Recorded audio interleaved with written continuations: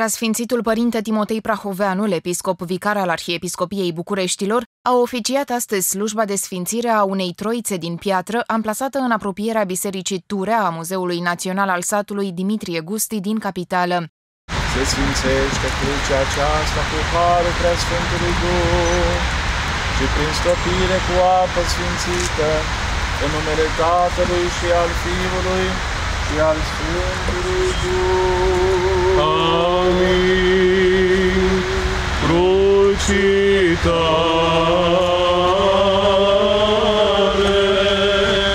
Preasfinția sa a spus că sfințirea acestei troițe încheie seria evenimentelor organizate cu prilejul anului omagial al satului românesc la muzeul înființat de Dimitrie Gusti. Această cruce realizată din Evlavia și grija părintelui Gruia Zamfirescu, care slujește nu prea departe de acest muzeu al satului, reprezintă de fapt dragostea dintotdeauna a celor care au dorit să lase ceva în urma lor. O troiță, o fântână, o casă frumoasă, așa cum sunt atâtea case în spațiul acesta al muzeului satului, sau chiar o biserică, o școală sau alte zidiri care de fapt vorbesc despre iubirea față de aproapele. De aceea considerăm că momentul de astăzi este unul important care încheie cumva evenimentele desfășurate în acest muzeu al satului, unde au fost prezenți foarte mulți preoți din Arhiepiscopia Bucureștilor, unii de la orașe, alții de la sate, mulți dintre ei din mijlocul capitalei, care au venit împreună cu credincioșii lor și le-au arătat bisericile aflate aici, dar și casele care reprezintă adevărate monumente de arhitectură și taine ale sufletului românesc. Troițele așezate la răspântiile drumurilor ne aduc aminte de faptul că Mântuitorul este calea, adevărul și viața. Având la bază această credință, țăranul român a știut să-și înceapă drumul cu semnul Sfintei Cruci.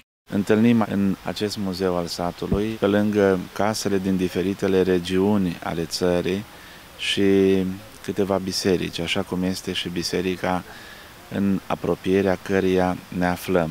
A fost tradiția în satul românesc căruia Sfântul Sinod al Bisericii Ortodoxe Române i-a închinat uh, numeroase momente de aducere aminte, dar și de proiecte care privesc revitalizarea vieții acestuia, ne-a adus aminte anul acesta de tradițiile de altă dată ale satului românesc, inclusiv de troițele care se așezau la mormintele celor trecuți în lumea veșniciei, dar și la răscrucea drumurilor.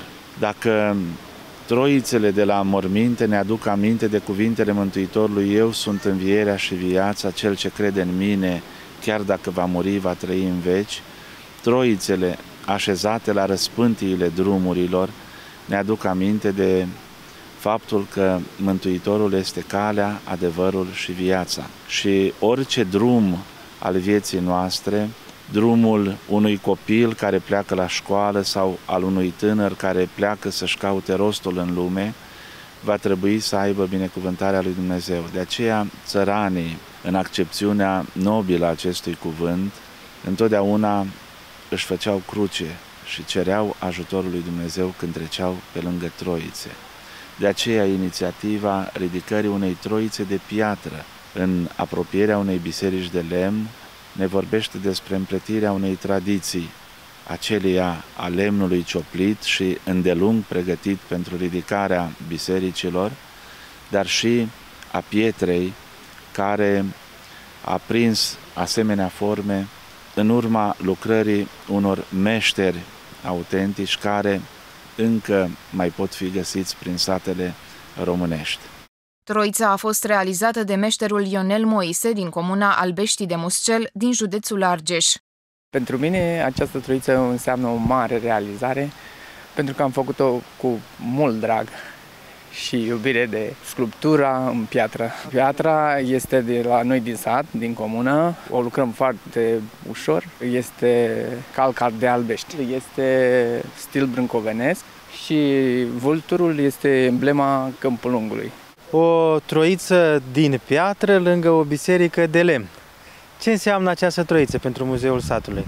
În primul rând, uh, înseamnă două tradiții uh, din satul românesc. Biserica de lemn nu exclude în niciun fel construcția de piatră, iar Troița știm că are foarte multe semnificații legate de protecția locului. Suntem astăzi în 23 decembrie și atunci, în discuția pe care am avut-o cu Părintele Zanfirescu, a fost vorba și de amintirea acelor eroi care s-au jertfit în 89 pentru Revoluția Română și pentru ca noi să putem astăzi face în Muzeul Satului Consiliului această slujbă. Nu s-ar fi putut face înainte de 89. Așa că eu astăzi mă întrebați care este semnificația pentru muzeu. În primul rând este o semnificație de protecție a acestui loc, care este binecuvântat și se află sub protecția lui Dumnezeu în primul rând și pe urmă are semnificația libertății noastre, a acelei libertăți de a putea spune ce gândim, de a putea spune că suntem credincioși, fără să avem niciun fel de probleme din afară. Troița a fost ridicată în memoria tuturor fiilor satului românesc care au murit pentru libertatea, credința și demnitatea poporului român. Am avut inițiativa ridicării acestei Sfinte Troițe pentru toți fiii satului românesc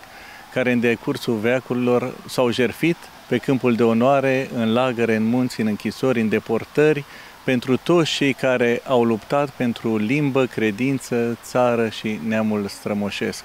Toți care au fost în lupte, cei care au rămas acasă și au uh, suferit asupririle năvălitorilor și ocupația străină și prin tradiție și prin limbă au dus neamul românesc la ceea ce este astăzi și întotdeauna au fost păstrătorii adevărați ai tradiției autentice românești. Ne bucurăm de înălțarea acestei Sfinte Cruci care va rămâne aici pentru bucuria nu numai a bucureștenilor, pentru că aici intră foarte multă lume, nu numai din țară. Aici vin foarte mulți străini să vadă acest spațiu mirific al satului românesc, pentru că, într-adevăr, Dimitrie Gusti a avut o, o idee extraordinară cu aducerea acestor case din toate colțurile țării aici, pentru că în felul acesta satul românesc are un miez al spiritualității sale aici, în mijlocul Bucureștiului.